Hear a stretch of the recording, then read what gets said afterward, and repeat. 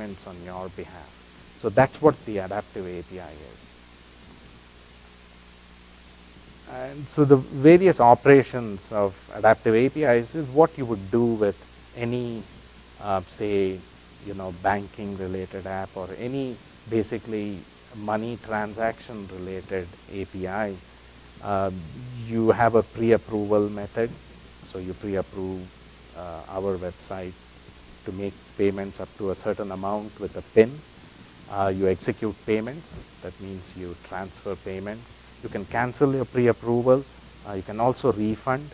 So if I paid my uh, landlord a certain amount and you know yeah, I ask for a certain portion back, you can either refund the entire or partial amounts. And all these operations are associated with uh, what they call IPN, which is basically PayPal telling us, the application, what operation they did on the user's behalf. And it is very critical to the whole thing because anytime money is involved, there is accountability. And you need to keep track, we as an app developer and PayPal needs to keep track of these transactions. And that's what IPN does for you. It gives you all the details. What appears on your bank statement basically appears after every call you make to PayPal. And I wanted to show in this slide basically what I mean by pre-approvals and why the protocol with PayPal also is so critical to us. Uh, the most important thing about uh, our surveys of our users, whether it is Gmail or Yahoo Mail or PayPal, uh, the number one issue is they do not want to provide passwords to us as app developers. So for instance, if you're doing a PayPal operation, they do not want to give us their PayPal password.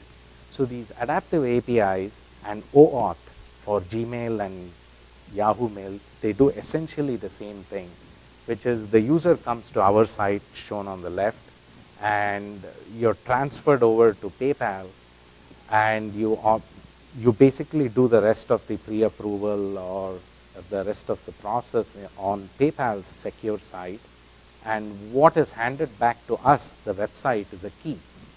And essentially with that key, we perform the operations on the user's behalf. So in essence, even with Gmail and Yahoo Mail, you're never supplying Infineer.com any of your critical passwords. And when you have a pre-approval key, you can always revoke it on Google or Yahoo or PayPal. So those two things are very critical for consumer adoption.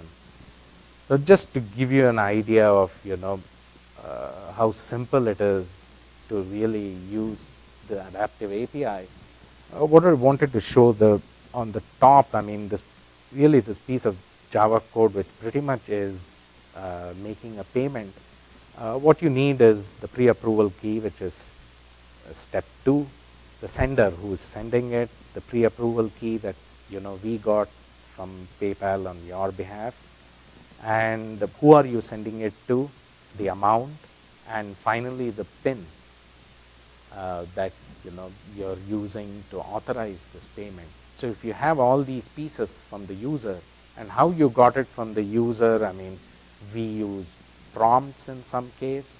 Uh, in the case of emails, you, we, we allow you to pay invoices. So if you get an invoice from a vendor and we are reading out the email to you, you can just say pay and you enter the PIN and we figure out the amount and all the other details from the email itself. So but in essence, under the covers, what we are supplying to PayPal is, you know, the receiver's email, the amount, the PIN, the pre-approval token, the whole nine yards. So I just wanted to show in this Java code that, you know, it's very easy to use. There are PHP and Perl examples too, and integrating with Asterisk is really simple. The particular problem, as I mentioned, when you're dealing with high latency web services is uh, you want to hide the latency from the user.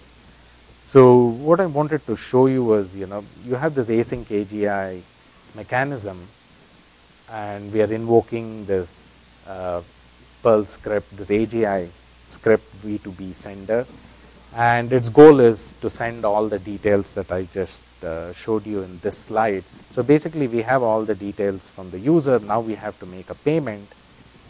We invoke this AGI script to call out to PayPal, but it takes you know 5 to 10 seconds.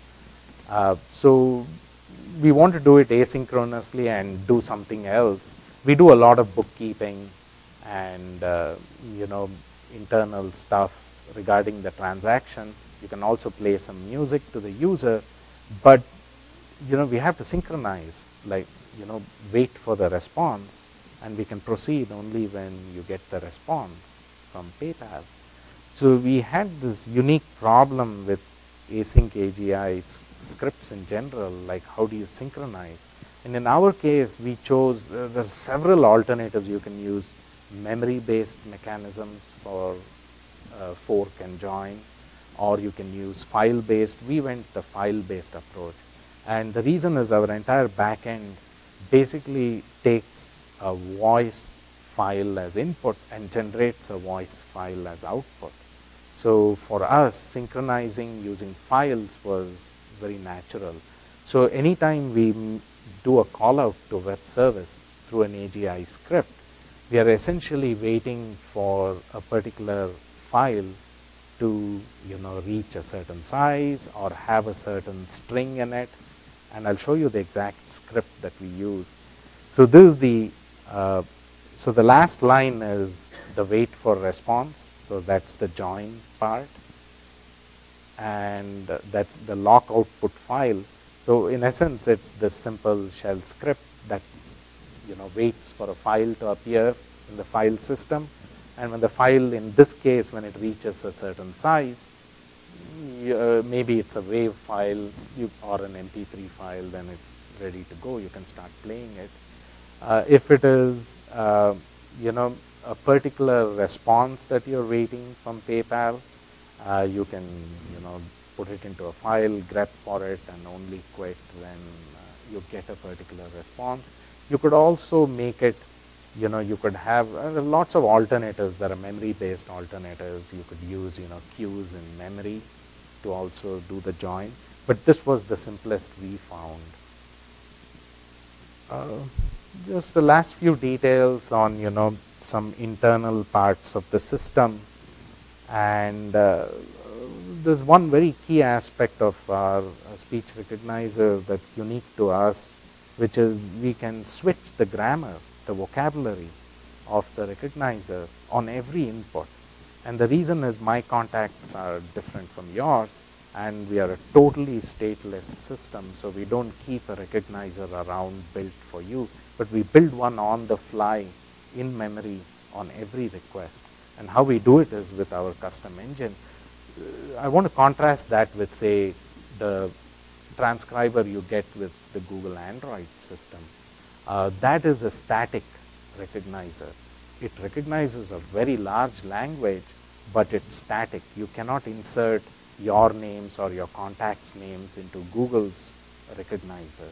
So that's a very clear distinction we had right from the beginning, which is we'll focus on names and contacts and we'll let Google focus on transcription, Google Nuance or vLingo. Uh, just the last part of my presentation, I wanted to go over, you know, why this is such a big deal to us. The fact that, you know, there was a huge cost reason and there is the global deployment reason. So uh, all our low cost services, which is free access to email especially, is mostly focused on Asia. And uh, all the other smartphone users, which doesn't use the asterisk stack is mostly focused on you know the US and Europe. So we found Amazon to be you know very easy to deal with in terms of the number of instances that you can have. So I wanted to go over some key pieces of you know the Amazon cloud story and why it fits in very well with asterisk. Voxilla has a tutorial on deploying asterisk on Amazon, uh, which pretty much you know works out of the box. what they describe in the tutorial. But what you need to know is an AMI is a particular instance, uh, it's a particular server, one instance of a server. You have different types of storage, there is EBS and S3, and you have load balancing. But that is only HTTP load balancing. And you can create these policies that you can say that, you know, I want an additional 20 servers to be brought up automatically with my code running on it when demand reaches 60% on my current pool of servers. So if I have five servers running and capacity or load reaches 70%, then you can add additional instances and spread the load across the new instances. So that's their whole elastic part to the EC2 uh, story. Fits in very well with asterisk, except one key piece is missing. HTTP load balancers, there are tons of them. There's hardware, there's software, and in Amazon, you get it declaratively. So you don't even know uh, the load balancer, you just write your policies. Uh, but what is missing is the SIP load balancer. So that's where we had to throw in uh, asterisk. And then the rest of the stack is vanilla, you know, app stack. There is, you know, it's LAMP. So the usual, it's all our custom Java code. But the key point I wanted to highlight was they have data centers spread out. They have no data centers in South America, but pretty much they cover uh, the whole world. And for us, the Singapore data center and you know its coverage of India and China, especially with their cell phone users, was pretty critical. Uh, we haven't leveraged it yet with a product for Asia, but that's part of the goal. And uh, some of the numbers, I don't know whether you can see them out there, they have all changed, but the current uh, products that we have, uh, like you know the number of users registered, I mean Gmail is like 150 million users, Yahoo Mail is upwards of 300, Facebook that's a very old number, it's uh, crossed 520 million.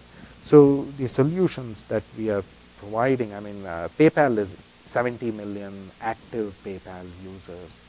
So we are talking about solutions that kind of you know fit into a huge population. And some of the, I want to wrap up the talk with some of the things we learned. Uh, one of the key things is there is smartphone versus voice calls.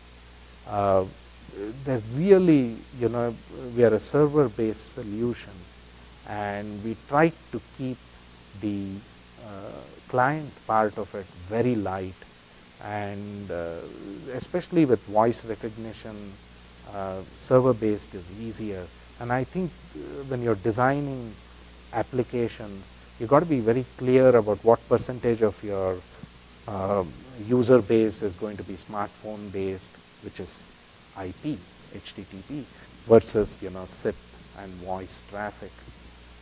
Uh, the uh, I mean our smartphone app users so the uh, out of 20,000 users that we surveyed uh, who you know used our product and uh, filled out a form on our website about 95% of them from the US so if you're talking about the US users only 95% of them wanted a smartphone solution IP based uh, when you looked at the rest of the world, 70% of the users wanted uh, a voice-based solution in Asia especially. So the smartphone versus normal phone thing, you know, is very, very uh, distinct.